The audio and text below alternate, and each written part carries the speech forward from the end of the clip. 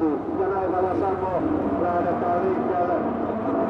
Tapani Koski lähtee erittäin hyvin kyllä tuosta kattoissa ruudusta, mutta odotetaan sitten kun tuo kun Kaidaa takka pääsee tuon kanssa liikkeelle, niin mä uskon, että siellä ei, ei sitten oikein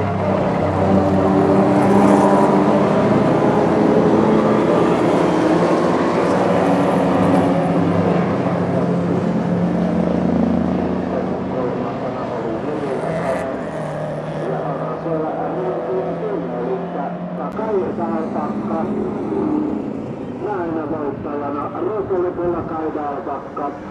Olisi tätä lähtöä mennä tullen ja palatessa aivan mahtavasti Kaidaan takka kyllä tuolla kurvetellaan ja sieltä sitten Ojala maaliin sitten odotellaan sieltä alle 1600-vuotiaasta voittaja Tapani Koski ja ison luokan voittajana Jyri Rekonen alle tonni 600 kakkosena Heikki Välikoski.